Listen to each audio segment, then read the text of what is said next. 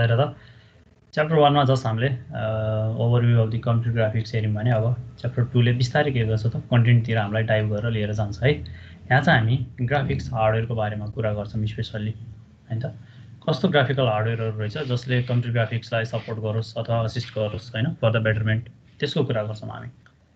So हामीले सुरु गरौँ पिक्सेलबाट ठिक छ?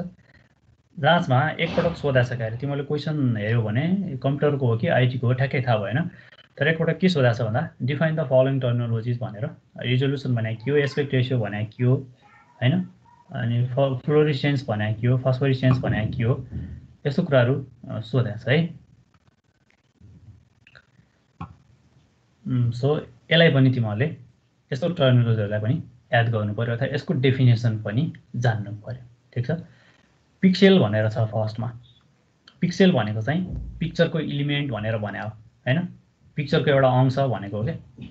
पिक्स प्लस इएल पिक्सेल भनेको खासमा पिक्चरको पिआइएक्स र इलिमेन्टको इएल त्यसरी भन्यो होइन? त पिक्सेललाई के भन्छ त?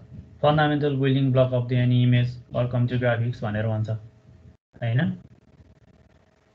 के हुने भयो त? इमेज भनेको कलेक्सन अफ दि पिक्सेल्स हो भनेर हामीले सुन्दै आइरहेछौँ होइन? अथवा जति धेरै पिक्सेल पर इन्च अट्न सक्छ कुनै एउटा इमेजमा त्यो पिक्सल त्यति नै के अरे त्यो इमेज त्यति नै सार्प होला अथवा सार्पनेस अफ इमेज बढ्ला। है?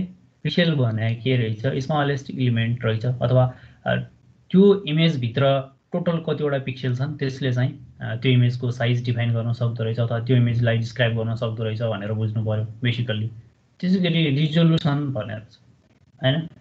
हामीले सुन्दै आइरहेको कुरा त हो रिजोल्युसन भनेर होइन? रिजोल्युसन भनेको के रहेछ त एक्ज्याक्टली भन्दा हेर त कम्प्युटर सिस्टममा के हुन्छ त यो तिमीहरूको लेफ्टपट्टिको टप मोस्ट कर्नर छ यसलाई हामीले ओरिजिन भनेर मान्छौँ दिस इज स्ट्यान्डर्ड है यो ओरिजिन हो यो अहिले मैले माउसलाई जहाँ घुमाइरहेको छु कर्सर त्यो ठाउँलाई हेऱ्यो भने this is considered as the origin होइन? यसलाई हामी एक्स एक्सिस भनेर मान्छौँ र दिस इज वाइ एक्सिस होइन? यो ओरिजेन्टलतिर एक्स एक्सिस हो यतातिर वाइ एक्सिस हो। जेनरलाइजेसन यसरी गरिन्छ है? अब कम्प्युटर ग्राफिक्सभरि हामीले ओरिजिन भन्यो भने यो कर्नर भनेर बुझ्छौँ है? भोलि कोर्डिनेट सिस्टममा गएर हामीले कोर्डिनेट एनालाइसिस गर्न पऱ्यो भने फेरि यसरी झिकेर यसलाई ओरिजिन भनौँला तर के बुझ्नु पऱ्यो त? कम्प्युटर ग्राफिक्समा जहाँ पनि कम्प्युटर सिस्टममा ओरिजिन भन्ने बित्तिकै त्यो लेफ्ट मोस्ट टप कर्नर रहेछ भनेर बुझ्नु पऱ्यो ठिक छ? त्यसरी अब रिजोल्युसनलाई डिफाइन गर्ने हो भने रिजोल्युसन भनेको के हो त? हाम्रो टोटल डिजिटल स्क्रिनभित्र कतिवटा पिक्सेल अट्याच छ त? Total number of pixel in our display screen यदि रिजोल्युसन क्यालकुलेट गर्नु पऱ्यो भने भोलि न्युमेरिकल इक्जाम्पलहरू गर्दाखेरि रिजोल्युसन क्यालकुलेट गर्नु पऱ्यो भने हामीले के गर्नु पऱ्यो त अब? एक्स डिरेक्सनमा अथवा यो ओरिजेन्टली कतिवटा पिक्सेल छ भर्टिकल्ली कतिवटा पिक्सेल छ त्यो दिएको छ भने त्यसको टोटल मल्टिप्लिकेसन के हुँदो रहेछ त? रिजोल्युसन हुँदो रहेछ भनेर बुझ्नु पऱ्यो त्यहाँ रिजोल्युसन क्यालकुलेट गर्दाखेरि pixel in the X direction into pixel in the Y direction गर्ने हो भनेर बेसिक कन्सेप्ट चाहिँ क्लियर हुनु पऱ्यो है।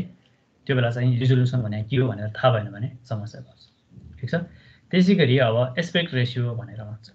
एस्पेक्ट रेसियो भनेको के हो त? डिभिजन अफ द पिक्सेल कहाँ भएको? एक्स डिरेक्सनमा भएको डिभाइडेड बाई वाइ डिरेक्सनमा भएको। त्यो रेसियो आउँछ एउटा त्यसलाई हामी के भन्छौँ? एस्पेक्ट रेसियो भनेर भन्छौँ। है त? कुनै पनि स्क्रिनको aspect ratio refers to the ratio of the number of the horizontal pixel to the number of vertical pixel ठिक छ? यहाँ एउटा सानो एक्जाम्पल छ। तिमीहरूले मैले माउसले यहाँ पोइन्ट गरिरहेको चिज हेऱ्यो भने हेर त। यहाँ के भन्छ त?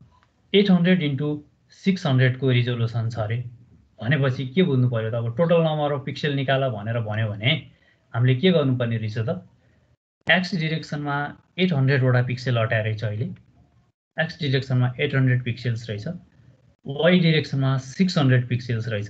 So we need to calculate the total number of the pixel then we have to multiply the pixel in the X direction by pixel in the Y direction that is the resolution र हामीले calculate गर्नुपर्छ aspect ratio भनेपछि aspect ratio भनेको के रहेछ त? Horizontal डिरेक्सनमा भएको pixel divided by vertical डिरेक्सनमा भएको पिक्सेल गऱ्यो भने फोर बाई थ्री अथवा फोर इज टू थ्री आछ that is the aspect ratio of the screen having eight hundred into six hundred resolution भनेर बुझ्नु पऱ्यो। ठिक छ? ल। त्यसै गरी प्रसिस्टेन्स भनेको छ। प्रसिस्टेन्स भनेको के रहेछ त भन्दाखेरि कुनै पनि लाइट इमिट भइसकेपछि अथवा कुनै स्क्रिनमा गएर हिट भइसकेपछि त्यसको ओरिजिनल लाइटको इन्टेन्सिटी जति छ नि त्यो ओरिजिनल लाइटको इन्टेन्सिटी वान बाई टेनले अथवा टेन पर्सेन्ट डिक्रिज हुन कति टाइम लाग्छ? त्यो टाइमलाई हामी के भन्दो रहेछौँ त? प्रसिस्टेन्स भनेर भन्दो रहेछौँ। कुनै एउटा मानव लाइट पाइपबाटै अथवा लाइट पेनको थ्रुबाट कुनै एउटा स्क्रिनमा लाइट तिमीले इमिट गर्यो त्यो लाइट त्यो स्क्रिनमा हिट भएर बल्ब जस ग्लो भइरहेपछि त्यसको इन्टेन्सिटी टेन पर्सेन्टले डिक्रिज हुनलाई कति टाइम लाग्दो रहेछ? त्यो टाइमलाई हामी प्रसिस्टेन्स भनेर भन्दो रहेछ। है? त्यो मैले त्यहाँ डेफिनेसन अर्थात् तल धेरै कुराहरू लेखाएको छ। त्यो कुराहरू पढ्नु त्यो धेरै डेपमा चाहिँदैन। सो त्यहाँ बुझ्न सजिलो होस् भनेर त्यहाँ जेनरलाइज गरिदिएको छ सबै कुरा। Persistence means how much time is taken by the immediate light to reduce to one tenth अथवा टेन